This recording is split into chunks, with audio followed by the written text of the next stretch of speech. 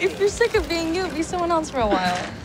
Yeah, and just where, where do you suppose that I do that? Hey, Ms. Mojo fans. Have we got a scoop for you? Spotted. Poor little rich boy. Once the biggest catch on the Upper East Side, these days it seems like no one even remembers N is around. Until they need his help anyway. How did the consummate insider find himself out in the cold? Compared to the rest of his social circle, it just doesn't feel like just desserts. But maybe we serve up the sweet spoonful of vindication. Nate Archibald, this one's for you.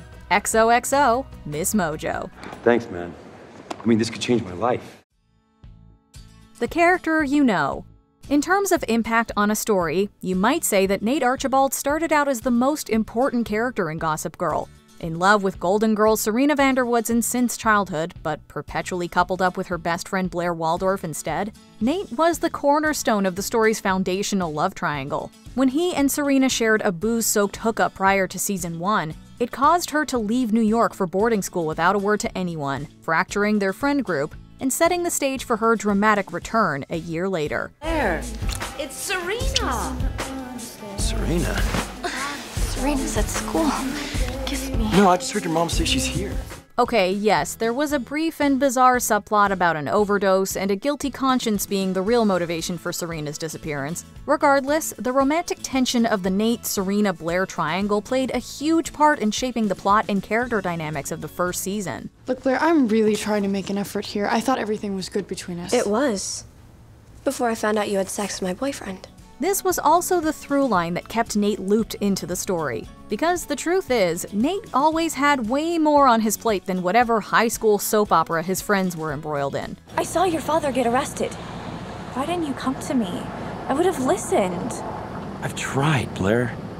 But every time I try, something's got your attention. A dinner party, you know, a masked ball. As the son of a Vanderbilt socialite and a powerful banker, handsome, athletic Nate grew up as a Park Avenue prince. However, the older he got, the more his privileged existence started to close in on him. You're we entitled to choose just to be happy? Look easy, Socrates. What we're entitled to is a trust fund, maybe a house in the Hamptons, a prescription drug problem. But happiness does not seem to be on the menu. Pressured by his parents to choose the approved college and date the approved girl, Nate was already struggling with feeling as though he had no control over his life.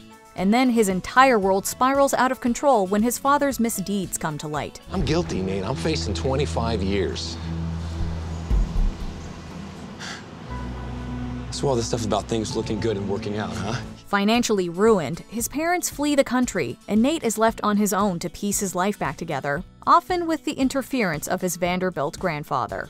No matter what he was going through, though, Nate remained the most decent person in his peer group. Forgiving to a fault, he was always the first to step up and try to help a friend, or even frenemy, in need, while mostly managing to keep his own reputation out of the mud. You're such a good guy, Nate Archibald. Can I kiss you before I kill you? Of all the main characters on the show, Nate is the only one that never sent a tip to Gossip Girl, and rarely did he find himself spotlighted by the infamous blogger. Maybe that's a sign that we're supposed to consider him boring, but honestly, it just makes Nate one of the only people on the show we'd actually want to hang out with. I judged the cover, but now that I've read the book, I figured you were owed some apologetic souvlaki at the very least. Where it went wrong. Unfortunately, Nate belongs to a club of fictional characters who are defined by their love lives. And even more unfortunately, it was a hard trap to slip, because from his genesis in the mind of novelist Cecily von Ziegesar, a love triangle was the entire basis for Nate's character. Does this have anything to do with why you're waiting for Serena this morning? You were what? Here I thought you were waiting for me. Oh, exactly what the situation needs. Chuck. Now, what is going on? The first season of the show translates this element faithfully. We're introduced to a Nate torn between his unrequited feelings for Serena and his relationship with Blair. However, the series started to peel away from the book plotlines pretty quickly, and where Nate was the ultimate love interest of both girls on the page, things rapidly shifted on TV. I'm just gonna step out for a while. And Nate's gonna wait for Serena. Great. He can get in line behind that guy.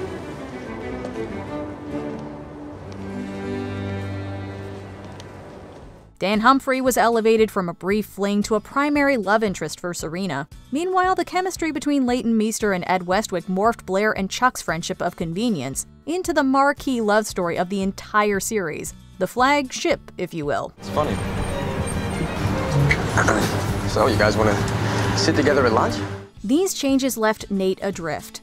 Not only was he without an obvious partner in a show where the relationship drama was a huge piece of the individual arcs, but he was now completely detached from his original narrative purpose. Easy come, easy go. The upshot is that Nate would go on to appear in the fewest number of episodes of any main cast member, and that he frequently felt like an afterthought tacked on in whatever way was the most useful for the plotlines of his friends. Nate's own story beats centered almost entirely on his dating escapades with an array of short lived relationships, most notable for the fact that he was frequently paired with ladies who were introduced as antagonists to Blair or Serena. Don't even get us started on the show's disturbing habit of putting him in manipulative situations with older women. When the best version of the situation is that I'm gonna become Blair's father in law, I think it's just time to move on, Catherine. Occasionally, Nate got to be more than convenient arm candy. In a few arcs that felt like they came from another series entirely, his Vanderbilt relatives would get him swept up in their political aspirations, often ending with a disenchanted Nate taking a step back for a while. I discovered he was the one who had my father investigated by the authorities. And if he cares so much about family, then why did he destroy mine? In the later seasons, he took over running the publication The Spectator, which should have been a chance to let the character evolve. However, it soon became just another set piece to service the needs of the other plots. We were very excited about Dan Humphrey's inaugural serial. We knew it would draw a lot of eyeballs. And it has and I know Dan's piece next week will garner even more attention. By series' end, we're led to believe Nate has become a media mogul of some kind. It's also hinted that he's finally ready to bow to his grandfather's wishes and jump into politics. You'll be the youngest mayor ever in the history of the city. Only if I win. And I haven't even said if I'm running. Polls already have you out in front. Considering that one of Nate's most defining traits across the series was his desire to make his own path, it feels like a cop out. Maybe even more so because it was one of the few definitions the writing ever let him have. Where do you think you're going? Home. I don't think so. Now you get back out there and you finish what you started. I mean, what you started? How we fix it. Nate is Gossip Girl. You have got to be kidding me. No, pitchforks away, please. We're kidding. He was one of the characters once considered for the job, though, and it certainly would be interesting. Seeing Nate turn out to be the Upper East Side's omnipresent mean girl in chief would be quite the switch up. But while a part of us is drawn to that chaos, ultimately we can't stand to lose one of the few good ones the show gave us. I understand you, uh, recently went to jail yourself, Mr. Archibald. Hate to see you back there. So for real this time, how do we fix it? As someone trying to make their own way, maybe it makes sense that Nate is the only character on the show reliably in possession of a compass. A moral compass, that is. I can't believe you told her! You just expected me to keep it a secret. Yes, Nate! There's nothing wrong with keeping a secret if the truth is gonna hurt someone! That's a hell of a way to look at things. As much as he obviously cares for his friends and family, he has always stood a bit apart from them. Not blinded by ambition, and only rarely swept up in his emotions, more than anyone around him, Nate can be counted on to do the right thing. His priority seems to be finding the truth in any situation, regardless of the agendas at play. That's get pretty exhausting, though. Hey, don't don't get me started. I'm exhausted. Hey, what you're really tired of is keeping everything a big secret. Maybe that's why Nate is Gossip Girl's go-to man whenever sleuthing becomes necessary. With the number of investigations he was involved in over the seasons, we're shocked that the CW never took Kristen Bell out of the narrator's corner and put her on screen for a Veronica Mars crossover special. Come on, you were always on that thing. This audition's really important to me. Plus, the book is a bestseller and it has a built-in movie audience. With that in mind, we think that season 4 is the perfect place to start tweaking Nate's storyline. When he was dumped by Serena at the end of the previous season, it severed his last remaining link to his original book persona, so it's an organic place to try something different. Oh, I didn't realize you and Serena were actually over. Yeah, well, I'm not gonna spend the entire summer waiting for her to figure things out. Right, yeah, that, uh, that makes sense. Season 4 already brought several new elements into play. When Howard Archibald is paroled from prison, he moves in with Nate, and the steps he takes to restart his financial career brought Russell Thorpe into the story. Forget your usual suspects, Upper East Siders. I look forward to facing you all. There's a new family in town. Russell, who has a long and bitter history with the late Bart Bass, comes to New York intent on destroying Bass Industries. Nate becomes a key player in all the drama that follows, not only because of the implications for his best friend Chuck and for Howard, but also as a result of a connection he sparks with Russell's daughter, Raina. When I go catch the game highlights somewhere, I just need to not talk about this for a while. Yeah. That'd be great. Disappointingly, the Thorpe storyline eventually boils down to a dead end tangent with little impact on any longer plot lines. It could be more, though. Smarter than you look, Archibald. I get that a lot. Nate has his suspicions about Howard's new job at Thorpe Enterprises from the start, but mostly because of all the complications of the situation. Chuck is family. I would never do anything to jeopardize things for him. You do realize that's a total contradiction, though, being Chuck's family and then working for the Thorpes.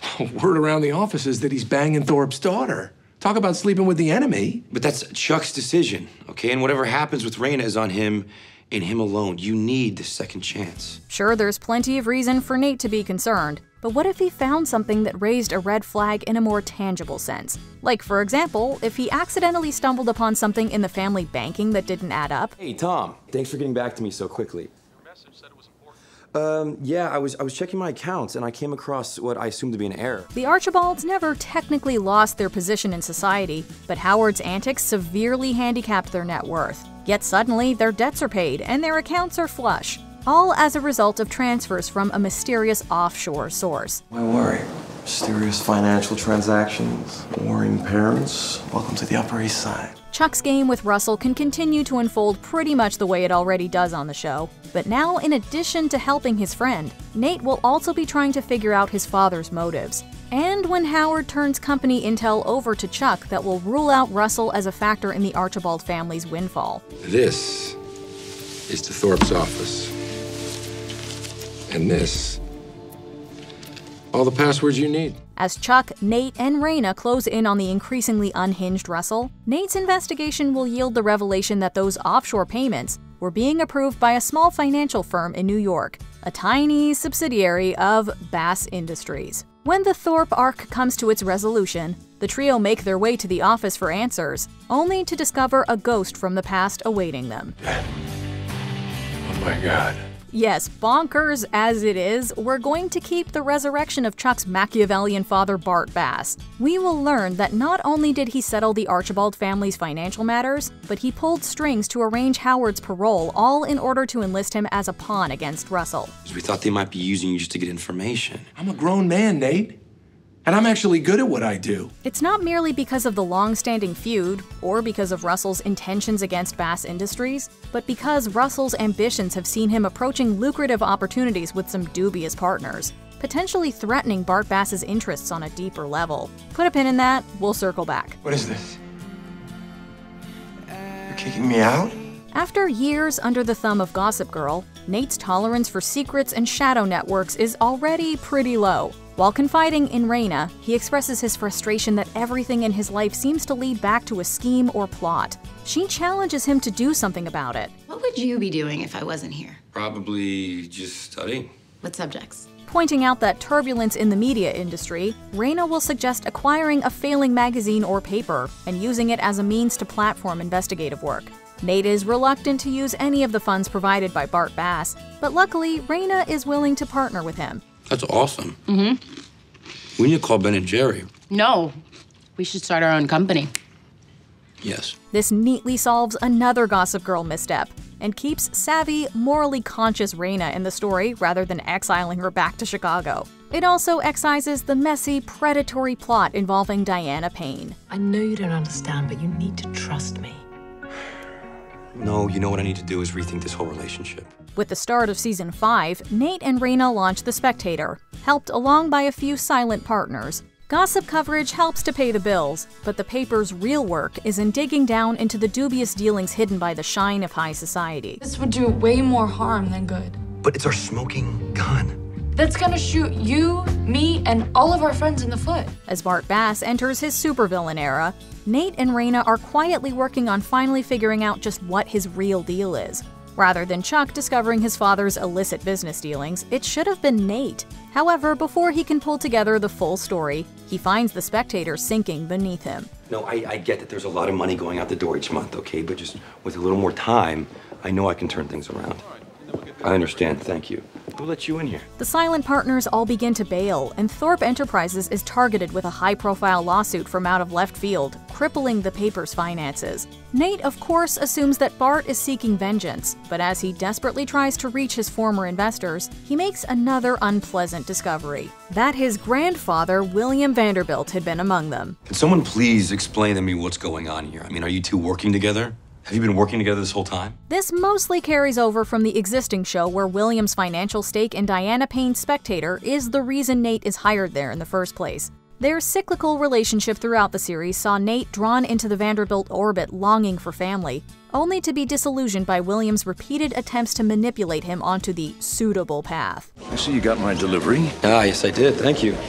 Fits perfectly. Of course it does. It's a repeat pattern this time around as well. However, this time, Williams' maneuvering reveals even more sobering realities. That editorial that you published it made me realize you're the one who has an understanding of which direction the Vanderbilt family needs to go in if we're going to continue to be leaders. You see, William too is in cahoots with Bart Bass and wants to bring Nate back to heel. It turns out the Vanderbilts have been a beneficiary of the illegal deals Bart has been doing behind the scenes. So, Bart was using the horses to hide the money he was buying illegal oil with? He had to hide it somehow. Sudan is an embargoed country. In return, William's political connections have protected Bart, and together they have formed a shadowy cabal of business contracts, government agents, and elected officials. From day one, Nate's crusade to shine a light on the seamy side of wealth and privilege has been tainted by the very forces he was rallying against, and doomed too, since William and Bart's financial hold on the Spectator would have ensured its failure no matter what. And now that Bart's wise to this guy, the question is,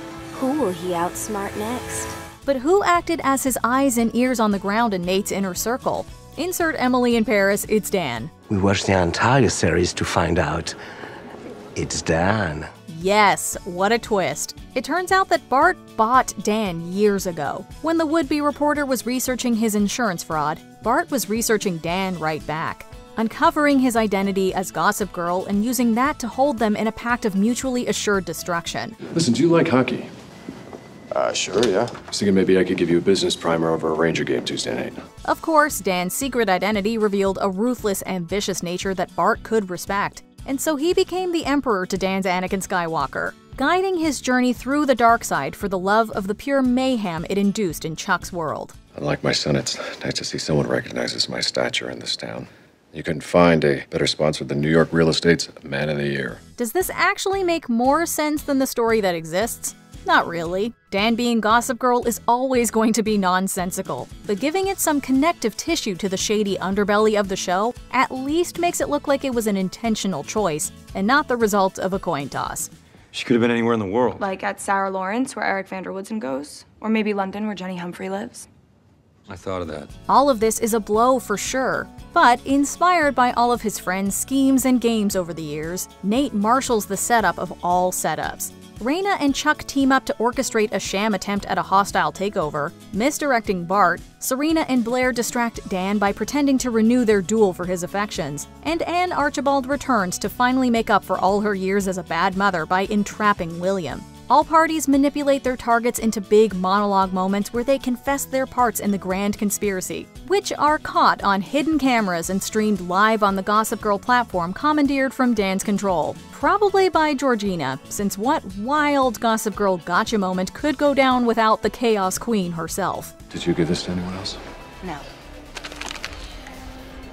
Oh, unless you count everybody here. It's unlikely that all the players in their vast network will be punished, but the most powerful, including Bart and William, will go down. Nate is heralded as a hero, and he accepts those laurels graciously, but frankly, he's had enough. This messy, elitist world where no one is ever what they seem to be was never his preferred scene. So, with this fight behind him, he packs up his life and makes his exit from the Upper East Side. So why not graduate to a law summer?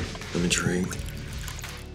Just spin the globe and pick a point. The future finds Nate in California, where he always hoped to be. He sleeps in, takes his dog for long walks on the beach, and spends his time with a group of people who don't know or care what his pedigree is. Doing nothing is giving me a lot of time to think, you know, and maybe the last couple of years are starting to take their toll on me between my family, Juliet, Raina, you. I mean, sometimes I wish I could just reinvent myself. Nate hasn't totally given up on the good fight, though. He runs a nonprofit organization that's dedicated to fighting for transparency in finance and government, which is as close to political office as he wants to get. I love that guy. Can we have your autograph? Yeah. Before we continue, be sure to subscribe to our channel and ring the bell to get notified about our latest videos. You have the option to be notified for occasional videos or all of them. If you're on your phone, make sure you go into your settings and switch on notifications. And as for his love life, there's an argument for Raina Thorpe, another genuinely good person who had amazing chemistry with Nate. But given their ideological differences, maybe they decided they were better business partners than lovers. My dad and I, We're Notre Dame fans. Oh, no. no, you can't be. What are you talking about? Uh huh. Guess kids are out of the question.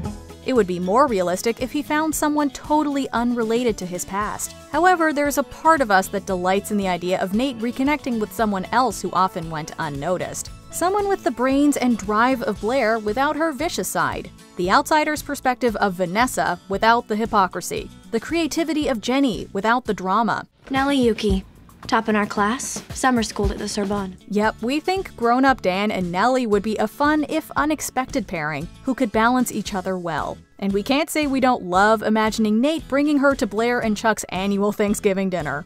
Nellie was just telling me you invited her here to meet with her. I hope it is to make an official apology. That I'd love to hear. Mostly, though, Nate just enjoys living his life in a world where people don't make plans grander than where they're all meeting up to watch the sports game. Whatever else his old friends may be getting themselves into, Nate is at peace, and we love that for him. Well, in case you're wondering, my life's been pretty drama free these days. So, what do you think? Would it be better if Nate were Gossip Girl? How would you change the storyline of the sideline St. Jude's Golden Boy? Let us know in the comments. You had more fun not being you than you've ever had actually being you, which means you now know you need to change. Do you agree with our picks? Check out this other recent clip from Ms. Mojo. And be sure to subscribe and ring the bell to be notified about our latest videos.